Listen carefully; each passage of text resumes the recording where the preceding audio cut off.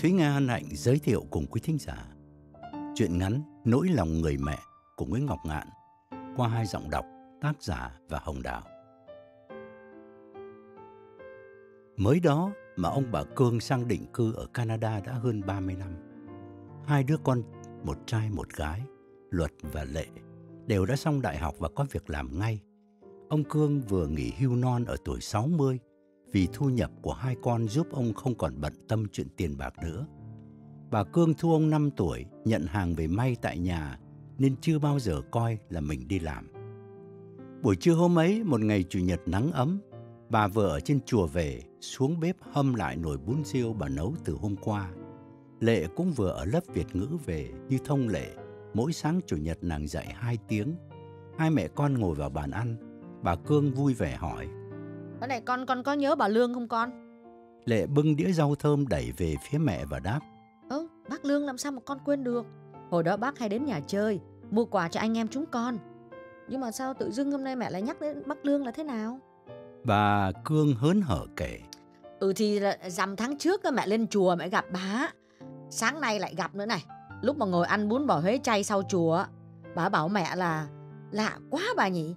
Cậu luật con trai bà với lại con Mỹ nhà tôi Hồi nhỏ nó chơi thân như thế mà lớn lên bây giờ hai chúng nó cứ như người xa lạ ấy. Ừ, tôi cứ tưởng là thế nào rồi tôi với bà cũng làm thông gia với nhau. Hóa ra là chúng mình lại không có duyên. Lệ bình thản ngắt lời. Bác ấy nói thế thôi chứ giờ muộn rồi mẹ ơi. Chị Mỹ sắp lấy ông dược sĩ học trên chỉ 2 năm ấy. Con nghe nói là ông dược sĩ chờ chị ra trường rồi làm đám cưới. Bà Cương ngạc nhiên nhìn Lệ hỏi lại. Ơ, thật không? Ơ, thế mẹ lại cứ tưởng là ba Lương bắt dò ý mẹ vì muốn gả con Mỹ cho thằng Luật. Lệ lại nhấn mạnh. Dù cho bác ấy muốn gả chị Mỹ cho anh Luật thì cũng muộn mất rồi. Anh Luật nhà mình cũng có người yêu rồi mẹ. Bà Cương càng ngạc nhiên hỏi lại. Ờ hay sao cái chuyện gì con này nó cũng biết thế à?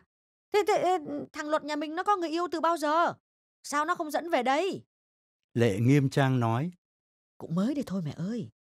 Con đoán thế là vì tối nào con cũng nghe anh ấy dù gì nói chuyện điện thoại. Phòng anh ấy sát vách phòng con mà. Với lại mẹ không thấy lúc này anh Luật diện bảnh bao hơn trước rất là nhiều. Đây nè, lát nữa đó, anh ấy về. Mẹ hỏi thử xem con đoán có đúng không? Nghe Lệ nói, bà Cương tò mò muốn biết chuyện tình của con trai. Đứa con mà bà rất hãnh diện vì vừa đẹp trai vừa học giỏi. Nhưng Luật đi chơi mãi đến tối mới về. Lúc đó cả nhà vừa ăn cơm xong, ông Cương vào phòng riêng ngồi trước computer, lo bài vở cho tờ báo Xuân của hội cao niên, mặc dầu mới bước vào mùa thu. Ông đang chuẩn bị mục tử vi chọn năm, là mục không thể thiếu trên báo Tết. Ông lấy mục tử vi của một tờ báo Xuân cũ, sửa đổi chút ít. Tuổi nào năm ngoái xuôi, thì năm nay ông sẽ cho hên. Vậy mà cũng có nhiều người khen hay. Bà Cương vốn mê mói toán, nên có năm tò mò xem mục này và hân hoan bảo chồng. Này ông, thầy tử vi ờ, nào đoán vận mệnh năm nay tuổi giáp ngọ của tôi là tốt lắm ấy. Gia đạo tài bạch đều có tin vui. Ông Cương hứng hở đáp. Thầy nào, tôi chế ra đi chứ có thầy bà nào đâu. Bà Cương quăng bẹt tờ báo vào góc nhà và từ đó không coi báo của chồng nữa. Ông Cương mê làm báo lắm, dù là báo hội đoàn chỉ phát không cho thiên hạ. Đây là căn phòng nhỏ của ông, chỉ có cái bàn làm việc và cái giường con cây sát vách. Từ hơn 10 năm nay ông ngủ riêng vì ban đêm ông có tật nghiến răng vợ ông không ngủ được. Bà Cương và Lệ ngồi xem tivi trong phòng khách, có đĩa trái cây và khay trà đặt trên bàn trước mặt. Nghe tiếng bước chân ở nhà ngoài, Lệ hỏi vọng ra. Anh ăn cơm chưa anh Luật? Luật máng áo cốt sau cánh cửa và đáp. Anh ăn rồi, anh có gọi cho em mà. Rồi Luật đứng ở cửa phòng khách thò đầu vào và hỏi. Mẹ coi phim gì đấy mẹ? Bà Cương vẫy tay vui vẻ bảo Luật. Vào đây, vào đây mẹ hỏi cái này. Luật vô bếp mở tủ lạnh, lấy chai nước lọc rồi quay lại phòng khách và nói. Mẹ ơi, con cũng đang có chuyện cần thưa với bố mẹ đây. Rồi Luật ngồi xuống sofa đối diện, đặt chai nước trên bàn. Bà Cương nhìn con trai lúc này ăn diện trải chuốt đúng như lệ nhận xét. Bà âu yếm hỏi. Này, con mới có người yêu đúng không? Luật tươi cười nhìn mẹ khẽ gật đầu. Lệ đập nhẹ vào bàn tay lên đùi mẹ và nói. Mẹ thấy con có giỏi không? Nhìn điệu bộ là con biết ngay là anh ấy có người yêu mà. Bà Cương hỏi Luật một câu mà bà cho là rất quan trọng. Thế nó tuổi gì hả con? Lệ gạt ngay đi. Trời ơi mẹ, mẹ so tuổi làm cái gì? Mối tình đầu đâu có gì chắc chắn đâu mà mẹ so tuổi. Chừng nào mà anh Luật đã quyết định cưới người ta thì mẹ mới hỏi tuổi chứ xem là có hợp hay không. Nhưng mà uh, con biết có những cặp um, um, trước khi mà cưới nó so tuổi kỹ lắm thì lấy nhau về vẫn ly dị như thường. Luật cười thêm vào. ly dị thì nói làm gì, có những cặp thầy bói ấy bảo tốt lắm, hợp tuổi lắm, mà lấy nhau về cứ đánh nhau suốt ngày. Lệ cũng phì cười theo và nói Thì đó, hôm nọ chính bố kể trong bữa cơm á Là ông bạn cùng tuổi xỉu với bố Ba đời vợ đều tuổi dậu Mà cuối cùng bây giờ vẫn ở một mình Thầy bói nào thì cũng bảo là tam hạp Tỵ dậu xỉu là tốt nhất là hợp nhất. Vậy mà có thấy không, bà nào cũng bỏ đi. Bà Cương phân trần. Mẹ biết rồi, ông đắc chứ ai. Tính ông ấy khó chịu lắm. Tam hạp nào mà chịu cho nổi. Nói cho cùng thì cũng tùy duyên tùy số thôi. Mẹ quen bố mày trong trại tị nạn này. Hợp là lấy chứ lúc đấy tao có để ý là so tuổi so tác gì đâu. Lệ mỉm cười kết luận. Mẹ nói vợ chồng là duyên số thì con đồng ý Nhưng mà mẹ đang nói chuyện anh Luật kia mà Chuyện tình của anh Luật mới là quan trọng Chứ chuyện, chuyện tình của mẹ thì giờ nó lỗi thời rồi Bà Cương gật đầu cười rồi quay sang hỏi Luật Con, thế con bé tên gì? Nó đi làm hay là còn đi học? Luật đáp Dạ tên Việt Nam là Tâm nhưng đi làm thì lấy tên là Tammy cho nó dễ kêu. Thế nó làm ở đâu? Dạ làm ngân hàng Royal Bank mẹ. Lệ vỗ nhẹ vào cánh tay mẹ và ngăn lại. Mẹ, điều tra cái gì mà kỹ thế? Cái y như cảnh sát thẩm vấn tội phạm á. Mẹ chỉ cần biết là người yêu anh Luật là làm nhà băng thế là đủ rồi. Bà Cương cười. thì mẹ cũng chỉ cần biết có bấy nhiêu thôi. Tuy nói thế nhưng bà lại hỏi thêm ngay. Thế con mới quen à? Hay là quen lâu rồi? Lệ lại giật cánh tay mẹ và gắt nhẹ. Trời ơi, quen lâu hay là mới quen mẹ hỏi làm cái gì? Bên này đó, cha mẹ chẳng bao giờ hỏi con về chuyện tình. Chỉ khi nào là chính thức về nói với bố mẹ là muốn lập gia đình thì bây giờ cha mẹ mới đi tìm hiểu thêm thôi. Bà Cương chưa kịp nói gì thì Lệ ngẩng lên nhìn Luật và hỏi. Có phải thế không anh Luật? Luật gật đầu như thầm cảm ơn em gái. Lối nói chuyện của cô giáo có khác, lúc nào cũng rành mạch. Bà Cương toan hỏi thêm về gia đình người yêu của Luật cho thỏa tính tò mò thì luật bảo em gái. Nhưng chuyện tình của anh là chuyện serious. Anh đang định về thưa chuyện với bố mẹ. Nhìn nét mặt luật, Lệ thấy rõ đây không phải là chuyện đùa. Nàng hỏi. Ủa, anh Luật, anh mới quen chị Tammy mà. Mối tình đầu mà serious cái gì? Ủa hay là tiếng xét ái tình à? Ôi thôi chết, biết đâu là vài tháng nữa anh lại đổi ý là có yêu, yêu khác thì sao? Luật cứng rắn cãi lại. Mẹ cũng chỉ quen bố là người đầu tiên, mà quen có mấy tháng ở trại tị nạn rồi lấy nhau. Vậy mà sống hạnh phúc đến bây giờ. Đó là tấm gương cho anh. Bà Cương hài lòng nhìn con trai gật đầu, lệ cười. Ừ, thì tùy anh thôi. Nếu vậy thì em có lời chúc mừng cho anh. Bà Cương cầm trái bưởi lên, dùng đầu ngón dao nhọn, khứa thành từng rãnh để dễ bóc. Bà cũng mong luật mau mau lập gia đình để bà có cháu bà sẽ làm đám cưới cho luật thật lớn, coi như một buổi họp mặt bạn bè của bà ở thành phố này. Bà dịu dàng bảo. Luật à, con năm nay là 27 tuổi rồi, có công ăn việc làm vững chắc. Con muốn lập gia đình thì cũng được. Bên này thì kể ra cũng hơi sớm đấy, nhưng mà tùy con. Gặp được người hợp ý thì con cứ tiến tới đi. Ngừng một chút, bà Cương giảng tiếp cho con trai. Nhưng mà này, Trước hết thì con phải đưa nó đến gặp bố mẹ đã. Rồi ờ, con cho bố mẹ biết gia đình nó để mà bố mẹ sang nói chuyện chính thức với người ta. Ở bên này vẫn có những gia đình rất là trọng phong tục tập quán.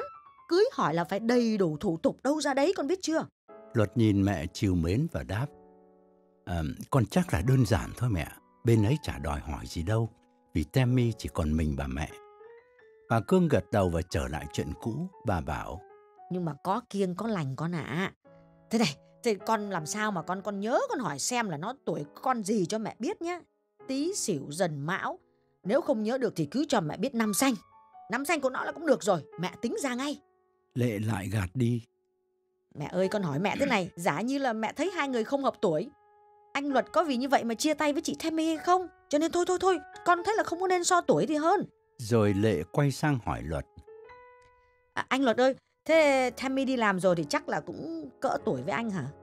Luật không đắn đo, trả lời em một cách bình thản. Không, Tammy lớn hơn anh. Bà Cương đang gọt bưởi, tạm dừng tay để lắng nghe. Lệ nghiêng đầu nhìn anh nhắc lại. Hả? Chị, chị, chị lớn hơn anh à? Luật giành mạch đáp. Tammy hơn anh 10 tuổi. Bà Cương trồm người lên như bị điện giật. Quả bưởi đang cầm trên tay rớt bịch xuống sàn, lăn vào góc nhà. Con dao nhỏ cũng rơi cạch xuống bàn. Lệ cố che giấu nét kinh ngạc của chính mình và hỏi. À, hơn anh 10 tuổi thì chắc là single mom à? Chứ chả nhẽ 37 tuổi mà mà chưa có chồng lần nào? Luật gật đầu đáp. Đúng, single mom. Có một đứa con gái 8 tuổi. Bà Cương thấy quất nghẹn trong cổ, tay run run bưng tách trà uống cạn cho thông cuống họng. Một lúc sau bà mới nói được. Bà nhìn luật gay gắt quát lên. Bỏ ngay! Chấm dứt ngay! Hết người rồi hay sao mà mày đòi lấy đứa hơn mày 10 tuổi hả? Lại còn vướng đứa con riêng nữa. Trời ơi! Mày trai tơ! Mới có hai mươi mấy tuổi đầu thôi. Tại sao lại rút đầu vào cái đứa mà đã đã có con thế hả? Đừng nói gì về việc là nó có con riêng nhé. Hễ single mom là không được lấy. Con gái đầy đường cái kia. Đây này, bạn con Lệ thì thiếu gì hả? Tại sao lại phải đứa tại sao lại phải lấy đứa con chồng? Dứt ngay, bỏ ngay. Lệ biết mẹ mình đang uất hận nên tạm thời nàng không dám có ý kiến. Nàng đứng dậy lại góc phòng nhặt trái bưởi lên. Luật nhìn mẹ cứng rắn đáp. Con không dứt được. Con và Tammy yêu nhau. Con đã hứa rồi. Không thể bỏ được mẹ. Ông Cương đang viết bài trong phòng. Nghe tiếng bà vợ quát lớn quá, ông tạm ngừng tay bước ra và hỏi. Chuyện gì mà bà làm ầm mỹ cả lên thế? Lệ chỉ cái ghế nhỏ bên cạnh và chìa bàn tay nói.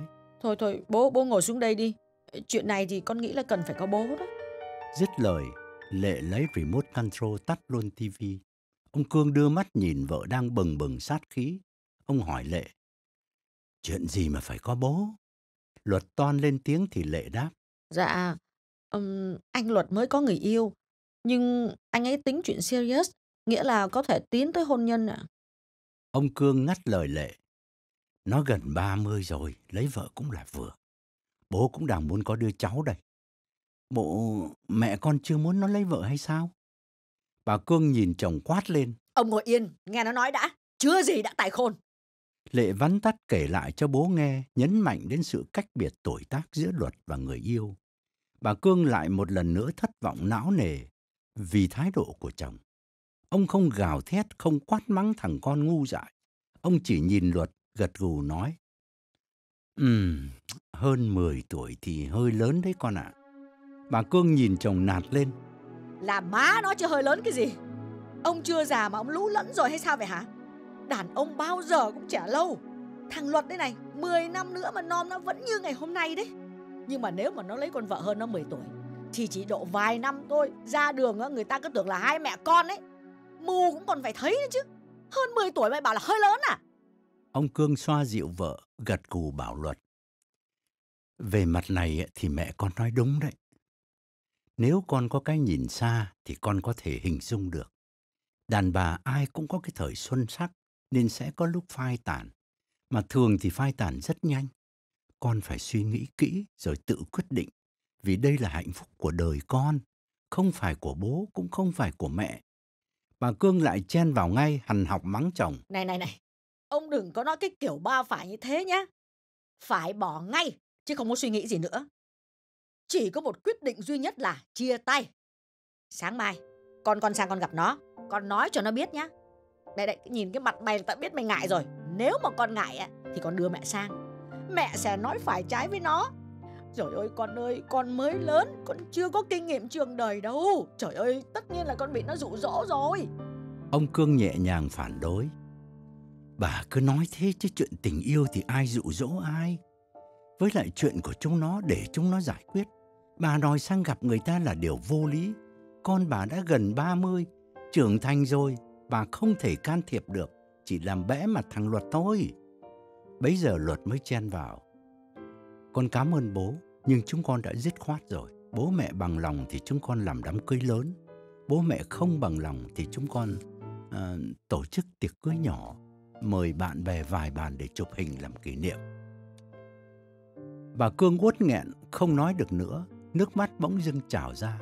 Lệ chen vào một câu để mẹ thấy Lệ cũng đang đứng về phía bà. Nàng nói với Luật. Ừm, anh anh có thấy là anh với Tammy vội vã quá không? Mình mới quen nhau mà sao làm đám cưới gấp vậy? Bà Cương lau nước mắt đắng cay nói. Không gấp sao được, vì cái con kia nó già quá rồi, đâu có đợi được nữa đâu. Ông Cương thấy vợ mình vì thương con trai mà dùng lời lẽ quá tàn nhẫn với người yêu của nó. Ông vội chuyển hướng hỏi luật. Thế, thế chồng nó đâu?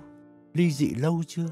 Con 8 tuổi thì vợ chồng ăn ở với nhau chắc cũng đã phải lâu lắm rồi, có phải không? Luật gật đầu đáp. Vâng ạ, ông ấy chết vì bệnh ung thư phổi cách đây hơn 3 năm. Ông ấy cùng tuổi với Tammy, lúc mất là 34, đứa con gái là 5 tuổi. Lệ xúc động hỏi Luật.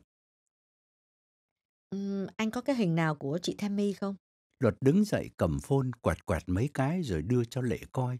Bức ảnh chụp Luật và Tammy trước cửa nhà Tammy dưới giàn hoa vàng giữa mùa hè. Lệ nhìn thoáng rồi đưa phone cho ông Cương coi. Lệ nói. Ừm, cũng còn trẻ nè, so với tuổi thì chị ấy trẻ lắm. Bà Cương gắt lên. Thời buổi này mà tin nhìn cái ba cái hình ảnh này mà tao không cần biết trẻ già gì hết. Hệ single mom là không lấy. Trời ơi tại sao mà phải phải lấy người có chồng có con hả con? Ông Cương từ tốn chen vào. Bà ơi, đôi khi cái số mệnh nó như vậy đấy bà. Bà Cương càng giận và sự giận dữ của bà bây giờ chuyển hẳn sang ông chồng. Nhưng bà chưa kịp nói gì thì Lệ dè dặt ủng hộ bố. Mẹ à, mẹ có thấy không, bây giờ tài tử Mỹ đó, bây giờ toàn là lấy chồng trẻ hơn cả mười mấy tuổi á. Ờ, con đọc báo mẹ mẹ có nhớ cái chuyện mà cô giáo bỏ chồng bỏ con để yêu một cậu học trò 13 tuổi rồi đi tù không? Bây giờ xu thế ngày nay nó như vậy đó mẹ. Ông tổng thống Pháp á, ông đẹp trai như thế mà lấy vợ hơn tới hai mươi mấy tuổi đấy. Bà Cương gằn giọng ngắt lời. Con kia, mày đừng có bao giờ so sánh người Tây phương với người Việt Nam mình nhé. Nếu mà tao là Pháp là Mỹ á, thì anh mày có lấy vợ già hơn 50 tuổi, tao cũng không thèm để ý. Nhưng mà người Tây phương là người ta mạnh ai nấy sống, không soi mói, không chỉa mũi vào người khác. Còn người mình thì ôi giỏi ôi nó đủ thứ rình rập chê bai. Thế làm làm thế nào mà được chứ? Mình là người Việt thì mình phải sống với dư luận của người Việt. Ôi trời ơi con ơi là con thiên hạ nó độc mồm độc miệng lắm. Tao không muốn người ta nhìn thằng luật mà người ta xâm xì thương hại. Bảo là tội nghiệp nó vì nó lấy vợ già. Mày hiểu chưa? Luật vẫn từ tốn nhưng cứng rắn đáp. Nhưng biết là con không quan tâm thì thôi chứ mẹ. Lệ rót nước trà thêm cho mẹ. Nàng thầm khen luật chất thẳng thắn, có thể gọi là can đảm, dám chống lại mọi ý kiến của mẹ mình. Nàng hỏi. Anh Luật, ờ, lúc nãy anh nói với ờ, với bố mẹ là nếu mà bố mẹ bằng lòng á, thì anh đám cưới lớn. Còn nếu bố mẹ không bằng lòng thì anh làm một cái đám cưới nho nhỏ. Vậy thì có nghĩa là anh và chị Tammy là cũng dự trù trước là có thể là bố mẹ không bằng lòng, có đúng không? Ông Cương gật gù đồng ý với nhận xét thông minh của con gái. Luật trả lời. Đúng, đó là ý kiến của Tammy. Tammy đoán trước là có thể bố mẹ sẽ không bằng lòng vì Tammy lớn tuổi hơn anh. Bà Cương cắt ngang. Thế tao hỏi mày chứ giờ mày lấy nó thì mày xưng hô thế nào? Mày gọi nó bằng em mà mày không ngượng mồm với thằng kia. Lệ thấy mẹ hỏi một câu vô lý nên đáp thay luật. Xưng hô thì có gì trở ngại đâu mẹ. Ngại thì mình dùng tiếng Anh, you and me. Ông Cương cố tìm một giải pháp cho êm đẹp nhưng xem chừng khó quá. Bởi vợ ông thì nặng thành kiến mà luật thì lại rất cương quyết. Tình hình này thì luật sẽ dọn ra, nhất là đã có sẵn căn nhà thanh thang của người yêu mà ông vừa thấy trong hình. Bà Cương nhìn luật vô cùng thất vọng. Bà đang có ý định dồn sức làm đám cưới thật lớn cho luật. Vì luật là niềm hãnh diện của bà. Nhưng làm đám cưới lớn để thiên hạ cười vào mặt vợ chồng bà hay sao? Huống chi ông Cương là người Quảng Giao, sinh hoạt cộng đồng mấy chục năm, đám cưới con ông chắc chắn sẽ hiện diện đầy đủ những khuôn mặt nổi trong thành phố. Chưa kể bạn bè của chính bà cũng nhiều. Mời họ đến ăn để họ sầm xì chỉ trỏ đứa con dâu lớn tuổi của bà hay sao? Ông Cương hết nhìn vợ rồi lại nhìn con trai. Ông thấy tội nghiệp cả hai phía. Ông dè dặt bảo luật. Con quen nó bao lâu rồi? Có thể con hơi hấp tấp đấy. Có việc gì mà phải làm đám cưới vội đâu. Từ từ, cứ từ từ đợi sang năm. Biết đâu con chín chắn hơn. Luật thấy rõ ràng bố luôn thông cảm với mình nên anh nói. Vâng, bố muốn thế thì để con bàn lại với Tammy. Lệ hiểu ý bố muốn câu giờ hy vọng chính luật sẽ đổi ý. Nhưng mà Cương không đồng ý. theo cách nhìn của bà thì Tammy đã có một đời chồng lại đang ở vào cái tuổi dở dang. Tất nhiên có quá nhiều kinh nghiệm chiều chồng, chiều đàn ông, cả trong cuộc đời cũng như trong chuyện gối chăn. Thằng con ngây thơ mới lớn của bà không thể nào thoát khỏi sức hút mãnh liệt ấy được. Cho nên bà vẫn chủ trương muốn cứu con bà thì chính bà hoặc chồng bà phải đến tận nơi nói thẳng với Tammy để Tammy buông tha cho luật. Bà cố nuốt giận, bảo luật. Thôi được rồi, ngày mai Chủ nhật, mày đưa nó tới đây gặp bố mẹ. Bố mẹ muốn nói chuyện trực tiếp với nó. Bà cho rằng đề nghị như thế là bà đã xuống nước lắm rồi, nhưng ông Cương nhăn mặt ngăn lại. Bà gặp nó để làm gì? Bà gặp làm gì mới được chứ? Bà và tôi đã thống nhất với nhau đâu. Bà năn nỉ nó bỏ con bà hay sao? Tất cả vẫn là do con mình mà thôi. Tôi với bà không nên can dự trực tiếp vào. Bà Cương lại gắt lên. Nhưng mà con mình nó u tối nên mới cần phải có tôi với ông nhúng tay vào. Luật cãi ngay bằng giọng từ tốn nhưng cứng rắn. Thưa mẹ, con không u tối đâu. Con quyết định và chính con hỏi cưới Tammy chứ không phải là Tammy ngỏ ý với con. Đến nước này thì bà Cương chịu không nổi nữa. Bà thở hắt ra rồi đứng dậy, lảo đảo đi vào buồng ngủ theo thói quen mỗi khi tuyệt vọng. Ông Cương buồn rầu nhìn theo, nhưng cũng không biết giải quyết cách nào. Ông rót tách trà rồi hỏi Luật. Thế con quen nó từ bao giờ mà bỗng dưng lại đòi cưới ngay là thế nào? Lệ cũng chố mắt nhìn Luật, tò mò muốn nghe rõ chuyện tình của anh. Luật đắn đo một chút rồi vắn tắt kể cho bố và em gái nghe chuyện tình của mình. Luật bắt đầu đi làm từ khi lên lớp 11. Weekend và suốt mùa hè, Luật siêng năng, tự đón xe bus không làm phiền bố mẹ. Có những việc nhàn rỗi như huấn luyện viên bơi lội, nhưng cũng có những việc nặng nhọc như khuân vác cho công ty xây dựng. Luật nhận những tấm check đầu tiên trong đời, hân hoan mang đến ngân hàng Royal Bank mở chương mục tiết kiệm. Người Việt duy nhất đang làm ở ngân hàng này là Tammy, nên lần nào đến đây, Luật cũng gặp. Khi số tiền của Luật đã tương đối kha khá, làm suốt mùa hè, Tammy mới bảo Luật. Uh-huh. Em để tiền trong chương mục tiết kiệm không có lời nhiều đâu. À, chị chị nghĩ thế này nhé. Nếu mà em không cần tiền xài gấp á, thì à, em cứ chia ra đầu tư định kỳ, lời cao hơn. À, nhưng mà phải chờ ngày đáo hạn mới được rút ra nhé. À, Tammy kiên nhẫn giảng cho luật những kiến thức cơ bản về ngân hàng. Lúc đó Tammy đã có chồng nhưng chưa có con. Chồng nàng là kỹ sư ở công ty điện lực. Hai năm sau nàng sinh con đầu lòng. Luật thì học xong, xin được việc ở Royal Bank, được nhận ngay nhưng lại làm khác chi nhánh.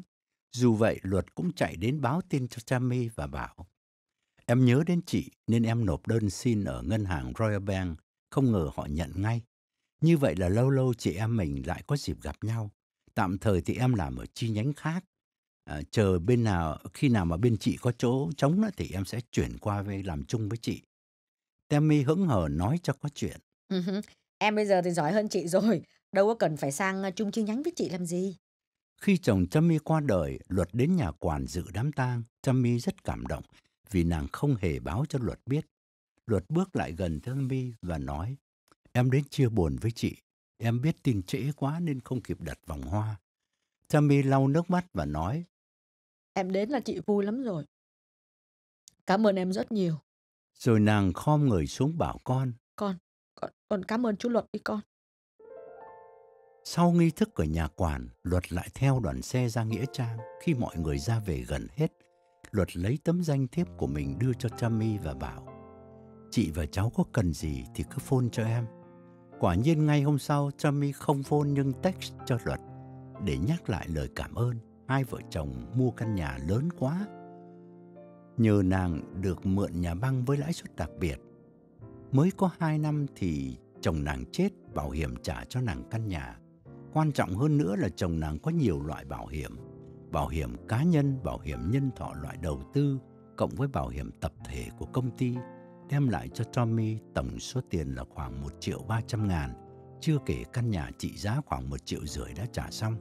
Tuy vậy nàng vẫn đi làm vì ở nhà cô đơn quá. Lúc đầu luật phun hoặc tách cho Tammy hoàn toàn là tình chị em. Thỉnh thoảng Tammy rủ luật đến ăn cơm ngày cuối tuần cùng mẹ con Tammy đi picnic mùa hè. Cứ thế theo thời gian, lửa gần rơm rồi một ngày đó, ngọn lửa tình yêu bốc cháy. Quen Luật từ ngày Luật mới gửi tiền ở nhà băng, lần đầu lúc Luật 17 tuổi và Tammy 27 tuổi.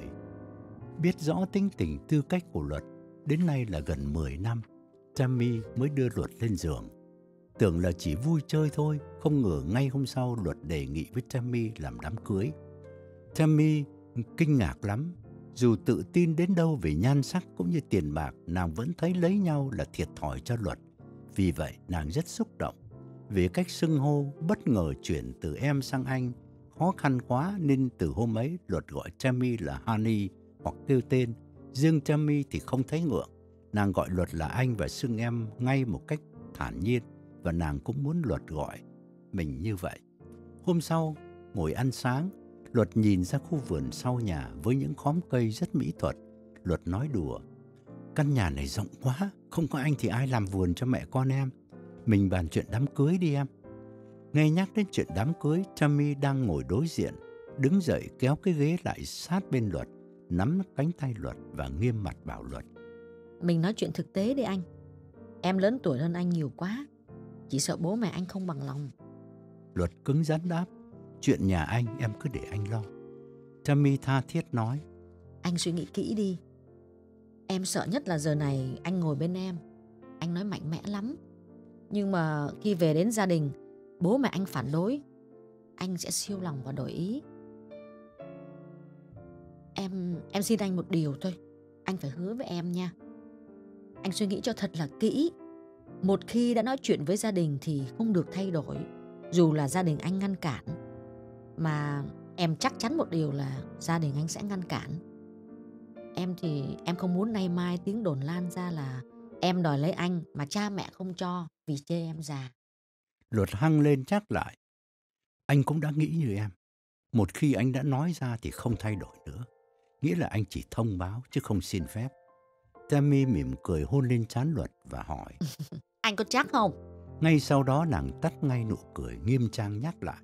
Anh chỉ có thông báo chứ không xin phép. Tuy anh nói như thế nhưng thật lòng em vẫn muốn là gia đình anh đồng ý cho em lấy anh. Để mình có một cái đám cưới thật là đàng hoàng. Hai bên cùng đến dự cho nó vui anh à. Đó là toàn bộ chuyện tình mà luật vừa kể cho bố và em gái nghe nghe xong lệ đề nghị hay là ngày mai anh cứ đưa chị ấy sang gặp bố mẹ cho phải phép có đúng không bố ông cương lắc đầu nói Đưa sang đây thì dễ quá rồi. Nhưng bố chỉ sợ mẹ con không dằn được, rồi nói những lời nặng nề thì tội nghiệp người ta. Luật kết luận Từ chiều đến giờ con hiểu ý bố và Lệ. Con cảm ơn bố và Lệ luôn luôn thông cảm với con. Cái khổ của mẹ là mẹ quá để ý đến mặt mũi, đến dư luận chung quanh. Anh em chúng con thì không bận tâm đến chuyện đó, bởi dư luận không hề nuôi sống được mình, không giúp gì được mình cả mà thường chỉ làm hại mình thôi. Lệ đồng ý ngay với luật, nàng bảo ông Cương. Ừ, con thì con nghĩ là mẹ ngăn cản anh luật lấy chị Themi không phải không có phải là vì vì thương anh luật quá đâu mà mà vì chắc là mặt mũi sợ người ta chê cười. Ông Cương cúi đầu thở dài. Tình hình này ông thấy rõ là không có lối thoát. Vợ ông chắc chắn không nhượng bộ, mà con ông thì quyết chí phản kháng lại dư luận. Luật bảo em gái, hay là thế này, hay là sáng mai anh đưa em qua nhà Temmy. Em nên gặp bà chị em một lần đi. Biết đâu em hiểu chị ấy hơn và có thể nói giúp anh với mẹ. Nhà này thì mẹ chỉ nghe có mình em thôi. Ông Cương gật đầu đồng ý nhưng Lệ cười giải thích. Trời ơi, đúng rồi, mẹ nghe em. Nhưng thật ra là mẹ chỉ nghe những cái gì mà em nói đúng ý mẹ thôi. Nhưng mà thôi, nếu mà anh muốn em gặp chị Tammy thì sáng mai anh đưa em qua. Luật cầm chai nước đứng dậy và nói, thôi bây giờ anh đi ngủ đây, anh sẽ báo cho Tommy biết là ngày mai em sang chơi. Luật đi vào buồng nhưng Lệ níu lại và ưu tư nói. Ơ nhưng mà Ờ, em thấy là tại sao mà anh không dọn vào sống với chị Tammy một thời gian để hiểu nhau hơn trước khi cưới? Luật nói ngay, em không hiểu ý chị Tammy. Vì anh trẻ hơn Tammy nhiều, dù sao Tammy cũng có mặc cảm Tammy rất sợ mang tiếng là đón kép nhí về nuôi trong nhà. Nhất là Tammy đã có con gái 8 tuổi, cho nên chị ấy chỉ bằng lòng sống chung với anh sau khi làm đám cưới. Làm đám cưới lớn nhỏ gì cũng được, miễn là phải có đám cưới. Lệ gật đầu nói. Em hiểu rồi, Chị ấy tính vậy cũng đúng. Đó là người biết tự trọng. Thôi, em đi ngủ đây. Sáng hôm sau khoảng 11 giờ, Luật trở Lệ sang nhà Tammy. Xe đậu trước nhà, Lệ bước xuống, choáng ngợp ngay vì khung cảnh quá đẹp so với căn nhà nhỏ cũ kỹ của bố mẹ mình. Tammy ra đón từ ngoài cửa. Nàng trẻ hơn trong hình nhiều lắm khiến Lệ nghĩ ngay trong đầu. Anh mình yêu bà này là phải rồi. Lệ bước nhanh lên thềm và gật đầu nói. Dạ, chào chị. Em là Lệ, em gái của anh Luật. Tammy nắm tay Lệ, mở cửa dẫn vào nhà và nói. anh Luật vẫn khen cô là người thông minh nhất nhà. Ờ, chị thì chị cũng rất thích quen những người thông minh. Lệ cũng nói đùa theo. Oh, anh Luật thông minh hơn em chứ. Bằng chứng là anh ấy chọn chị làm người yêu đấy. Luật đi bên cạnh chỉ mỉm cười. Lệ không nói gì nữa vì nàng đang bị hớp hồn về cách trang trí nội thất của Tammy. Hay đúng hơn là của chồng nàng ngày trước. Thật ra thì chỉ vì nhà ông bà Cương nhỏ lại đông người, nên bước vào đây, Lệ thấy quá thanh thang. Tammy thân mật kéo Lệ xuống bếp và nói. Chị thì chị không phải là người nấu ăn giỏi đâu. Nhưng mà hôm nay thì chị xin phép chị mời em một tô bánh canh. Em ăn thử xem sao nhé. anh Luật thì cũng khen ngon. Nhưng mà chị nhìn thấy cái cái cách ăn của anh ấy thì chị biết là không có ngon. Chẳng qua là vì anh ấy phải khen cho chị vui thôi. Lệ kéo ghế ngồi vào bàn và bảo. chị làm thế em cũng lo quá. Nhưng mà ờ, ngồi ở đây trong ra vườn khung cảnh thơ mộng thế này thì ờ, thức ăn không ngon cũng thành ngon. Cứ như là thi sĩ tản đà đã nói thức ăn ngon chỗ ngồi ăn không ngon không ngon. Huống chi là thức ăn ngon mà chỗ ngồi lại đẹp thì quá tuyệt vời. Tammy đứng ở đầu bàn hỏi lệ. Em em uống nước ngọt hay là nước lạnh? À, nếu mà uống nước lạnh thì tốt nhất là uống Kengen. Luật ngồi bên em gái mỉm cười hài lòng về cách biểu lộ tinh tình thân của Tammy với Lệ. Anh đã dặn trước Tammy rằng Lệ là sứ giả của gia đình anh là người có tầm ảnh hưởng mạnh mẽ đối với bà Cương nên cần phải lấy lòng Lệ. Nhưng Tammy chẳng cần phải lấy lòng bởi chính Lệ đã có thiện cảm ngay với Tammy từ lúc mới gặp mặt. Lệ thân mật nói Ô em quên hỏi là cháu đâu rồi chị? Tammy đặt ly nước trước mặt và nói À, à nó đi học đàn, chắc cũng sắp về rồi. Lệ đưa mắt nhìn quanh rồi hỏi cho có chuyện. Ồ, hai mẹ con mà ở căn nhà này thì quá rộng đúng không chị? Chắc là thuế đất mắc lắm hả chị? Tammy thành thật kể. Ờ, thật ra thì cái ngày anh Hóa chồng chị mới mất á, thì cháu Lucy lúc ấy mới có 5 tuổi à. Chị thấy cũng vắng vẻ lắm, nhiều đêm sợ lắm em ơi. Một tiếng động nhỏ thôi cũng làm hai mẹ con giật mình. Thế là hai mẹ con mới là dọn vào ngủ chung một phòng. À, bây giờ thì quen rồi. Bán căn nhà đê thì cũng tiếc lắm, nên chị giữ lại em à. Ngừng một chút Tammy nhìn luật và thêm. Um, chị giữ lại là cũng cũng chờ anh của em. Anh luật về ở chung với chị. Anh ấy nói là anh ấy cần phòng tập thể dục. Nhà này thì có sẵn rồi. Anh ấy có thể ăn ngủ luôn trong đó cũng được. Luật nhìn Tammy bằng ánh mắt chiều mến nhưng không nói gì. Buổi gặp gỡ hôm nay anh chỉ muốn để hai người đàn bà nói chuyện với nhau. Nghe Tammy nhắc đến luật lệ thấy nao nao buồn chăm mê lịch sự và nếu so với tuổi 37 thì nàng còn rất trẻ nhưng Lệ biết chắc chắn là mẹ nàng sẽ không bao giờ chấp nhận. Đã toan không nói, nhưng Lệ nhịn không được. Nên sau bữa ăn, lúc ngồi uống trà ăn bánh ngọt, Lệ đành phải lên tiếng. Chị ơi, ờ, em nói thật nhé. Uhm, nhà em thì chỉ có một mình mẹ em là không tán thành anh Luật với chị lấy nhau. Mới đầu thì em cứ tưởng là bố cũng khó, khó chịu lắm nhưng mà hóa ra bố thì lại ủng hộ chị với anh Luật. Uh, cuối cùng thì chỉ có một mình ờ, mẹ em là là đứng về một phía thôi ạ. Tammy buồn rầu ngắt lời. À, và chỉ có một mình bác gái, nhưng mà bác gái lại là người quan trọng nhất đúng không em? Lệ thở dài ngẩng lên nhìn hai khuôn mặt u sầu trước mặt. Một lúc Lệ tha thiết nói. Chị ơi, giả như mà mẹ em cứ nhất định là giữ cái thái độ cứng rắn thì chị chị chị tính làm sao hả chị? Tammy toan trả lời thì luật ngăn lại và nói. Hôm qua anh đã kể hết với em rồi. Anh chị muốn có đám cưới đàng hoàng trước khi chung sống. Đó là yêu cầu dứt khoát của Tammy. Nếu mẹ nhất định không chấp thuận, thì anh chị vẫn cứ làm đám cưới. Nhưng sẽ đi Las Vegas hoặc là ra Hawaii hoặc một hòn đảo nào đó. Miễn là anh chị có đám cưới đàng hoàng. Luật nói Tammy gật đầu để Lệ hiểu rằng hai người đã bàn tính kỹ lưỡng Tammy lại cắt nghĩa thêm. Ờm, bác gái không bằng lòng á thì anh chị không thể tổ chức tiệc cưới ở đây được. Ừm, vì biết bác gái không bằng lòng á thì bác trai dù có thương anh Luật đến đâu đi nữa thì chắc chắn là cũng không dám đến dự đám cưới ờ, vì nể mặt bác gái. Cho nên chị nghĩ là thôi thà là anh chị đi xa. Lệ gật đầu nói. Đúng rồi đúng rồi, anh chị tính thế là đúng lắm á. Thời buổi bây giờ mà rất nhiều cặp đem nhau đi xa làm đám cưới, không cần người thân nào có mặt hết á. Tammy buồn rầu nói thêm. Dĩ nhiên là chị rất mong có hai bác tham dự. Bất đắc dĩ anh chị mới phải làm đám cưới nơi xa thôi em ạ. Lệ gật đầu nói. Em hiểu rồi. Em sẽ về thưa lại với mẹ em. Nhưng mà em em em không hy vọng là nhưng mà em không có hy vọng để em khỏi thất vọng đâu chị ạ. Lệ ở lại chơi với Tammy mãi đến xế chiều khi ông Cương gọi phone bảo nàng về. Vì bà Cương vẫn hờn dỗi nằm vật vã trong buồng, không chịu ăn uống gì cả. Sau một tuần lễ hết sức căng thẳng, ông Cương triệu tập phiên đại hội bất thường của gia đình, mời thêm cả cậu Thảo sang dự.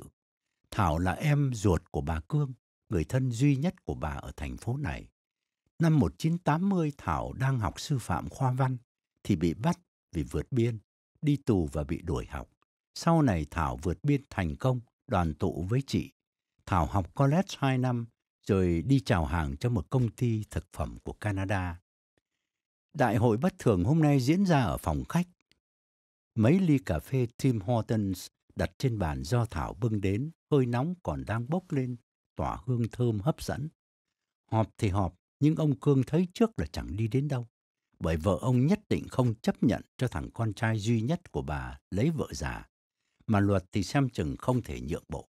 Thậm chí hôm qua, bà Cương còn nghiến răng, nói nhỏ với chồng. Con ấy năm nay nó 37 tuổi Tây, tức là 38 tuổi ta rồi. Thế nó còn đẻ được không? Chả nhẽ thằng luật nhà mình lại tuyệt tự à? Không có con nối dòng hay sao? Ông Cương phân bua dùm Tammy. Cái ấy thì bà lo gì?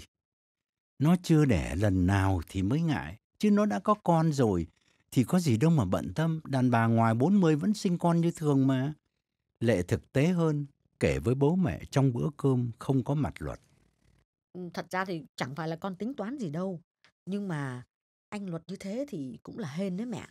Nhà cửa bây giờ nó lên vùn vụt đấy. Vì người Hoa ùn ùn mang tiền mặt sang mua. Lương của anh luật á, dù có cao thế nào, cũng không thể nào mua nổi căn nhà lúc này. Mà mẹ biết không, nhà chị Tammy ạ, rất là lớn và đẹp, vô cùng đẹp luôn. Giá thị trường ít nhất bây giờ, con nghĩ là phải 2 triệu á. Mà bảo hiểm thì trả hết rồi. Chưa kể là cái tiền bảo hiểm của ông chồng để lại nữa. Anh luật mà lấy chị ấy thì là không phải lo một cái gì hết. Bà Cương nguôi ngoai phần nào, nhưng vẫn muốn cho cả nhà, nhất là Thảo, biết là bà không đồng ý cuộc hôn nhân này.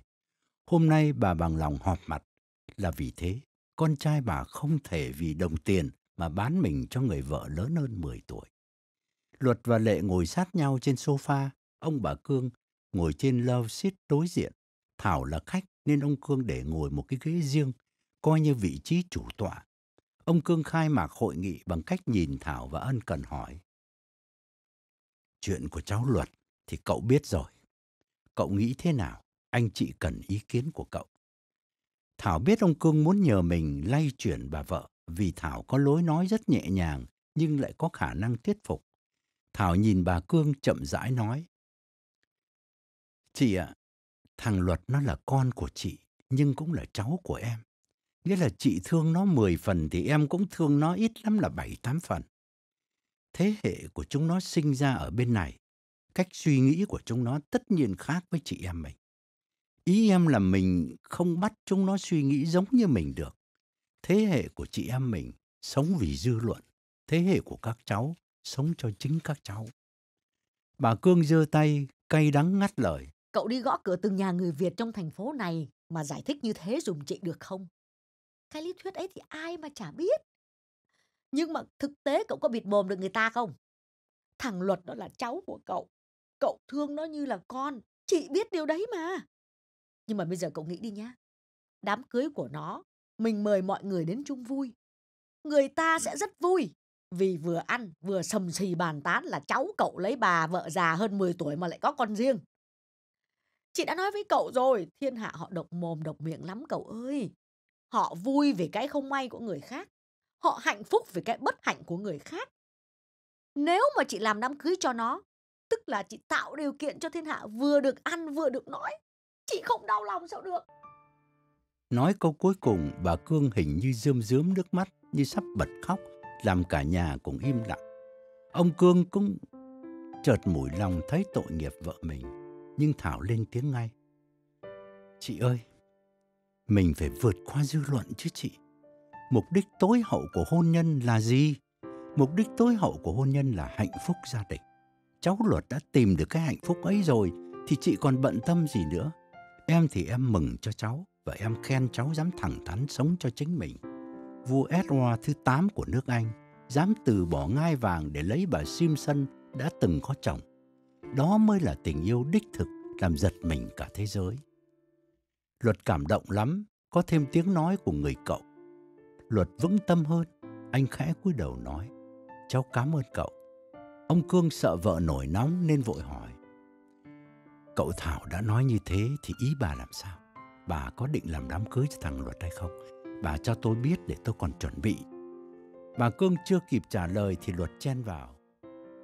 Bố mẹ chỉ đứng ra cho danh chính ngôn thuận thôi. Tất cả mọi việc, từ tổ chức in thiệp đặt nhà hàng, nói chung là mọi thứ từ A đến Z, con và Tammy sẽ lo hết. Chúng con chỉ xin bố mẹ có mặt ngày cưới thôi. Thảo nao nao tội nghiệp thằng cháu. Ông bảo bà Cương.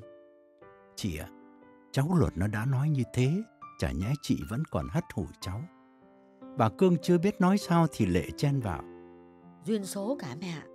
Cậu Thảo vẫn là bảo với chúng con là chỉ có ông vua ngày xưa mới có quyền bắt con gái cả nước đứng xếp hàng cho ông ta lựa. Vậy mà nhiều ông vẫn lựa sai đấy, đến nỗi mất cả ngai vàng. Chính mẹ cũng tin vào số mạng mà. Vợ chồng chắc chắn là duyên số. Theo con thì mẹ cũng không nên khắt khe quá mẹ ơi. Ông Cương gật cù đồng ý, nhưng không lên tiếng. Lệ nói thêm. Cậu Thảo nói rồi, mục đích tối hậu của hôn nhân là hạnh phúc gia đình. Anh Luật con tìm được hạnh phúc rồi mà, cho nên thôi thôi mẹ đừng, mẹ không cần phải bận tâm đâu. Bà Cương thở dài im lặng. Ông Cương kết luận. Thôi thì bà đừng nghĩ gì cả. Thằng Luật và vợ nó đứng ra tổ chức đám cưới. Tôi với bà, với cậu Thảo và cả nhà mình cùng đến dự. Để người ta thấy là gia đình mình lúc nào cũng đầm ấm. Như thế là được rồi. Bà Cương vẫn tức lắm. Bà đã dự nhiều đám cưới. Chàng rể non rất chán mà cô dâu lại rất trẻ đẹp.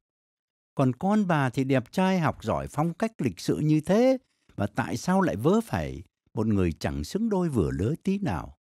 Nhưng cãi qua cãi lại mãi cũng chẳng đi đến đâu. Bà chán trường nói. Thôi được rồi. Chúng nó muốn làm thì chúng nó làm.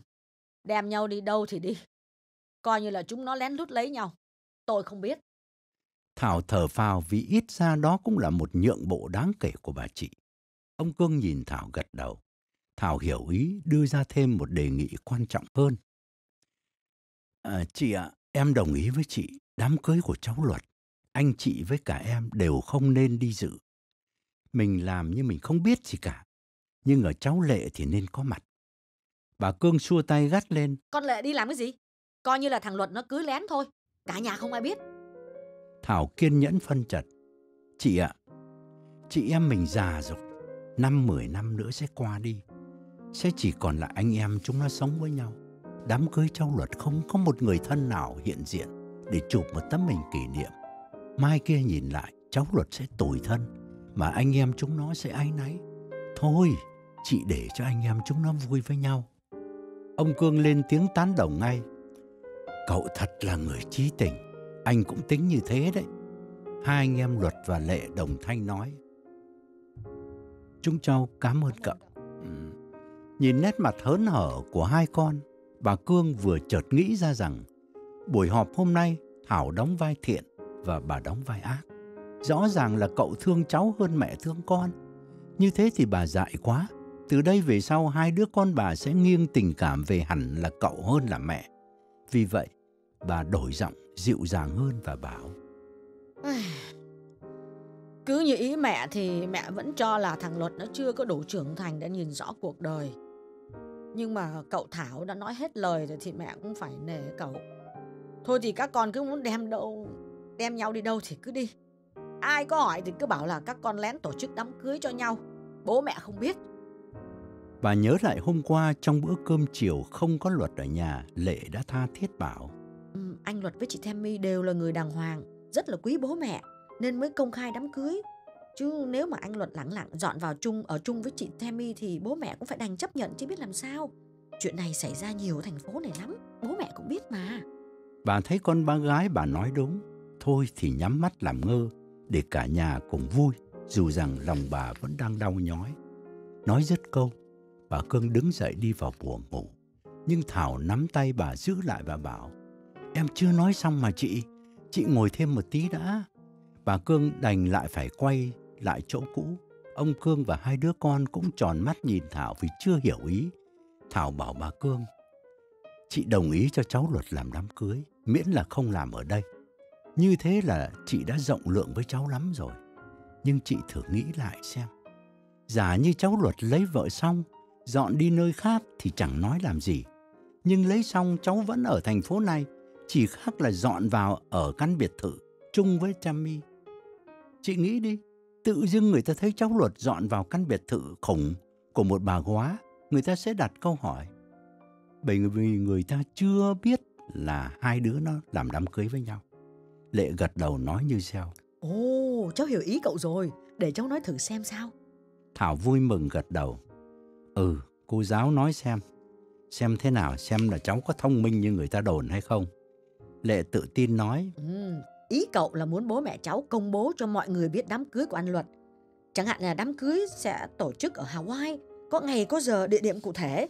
Nhưng mà chỉ gửi thiệp báo cho người quen thôi chứ không gửi thiệp mời. Thảo cười ngắt lời. cháu giỏi thật. Cậu sẽ đăng báo chúc mừng cháu Luật và Tammy. Như vậy thì sau đám cưới của cháu Luật, cháu Luật mới dọn vào ở chung với Tammy, không còn ai thắc mắc nữa. Ông Cương thở phào bảo vợ. Cậu lúc nào cũng chu đáo. Tôi thấy mình nên làm theo ý cậu, để vợ chồng thằng Luật khỏi mặc cảm. Bà thấy thế nào? Bà Cương chưa kịp đáp thì Luật lên tiếng. Con cảm ơn cậu rất nhiều, nhưng nếu đã thế thì con đề nghị thế này. Con mời bố mẹ, cậu với em Lệ cùng đi Hawaii với con một chuyến. Lệ nắm tay mẹ, giật nhẹ nhẹ và reo lên. Đi Hawaii mẹ ơi, mẹ đã bao giờ đi chưa? Ông Cương cũng vun ngay vào và nói, đi chứ bà. Tôi chưa biết mặt mũi Hawaii ra làm sao cả. Chuyến này hai đứa chúng nó làm đám cưới thì tôi với bà là đi đi tuần trăng mật honeymoon lại, kỷ niệm 30 năm ngày cưới của chúng mình. Bà chuẩn bị đi mua bikini đi để tắm biển. Bà Cương phì cười nhưng lại nghiêm ngay nét mặt và bảo luật. Ôi thôi, thôi. Cả nhà đứng về một phía. Thôi thì mẹ cũng đành chịu thua thôi. Này, mẹ mong con hạnh phúc. Nhưng mà mai kia nếu mà cuộc sống hôn nhân của con mà chắc trở đó, thì con sẽ nhớ lời mẹ hôm nay và đừng có trách móc ai nhé. Luật tiến lại ngồi xuống bên cạnh mẹ, nắm bàn tay mẹ, cảm động sương dướn nước mắt, nhưng không nói được lời nào.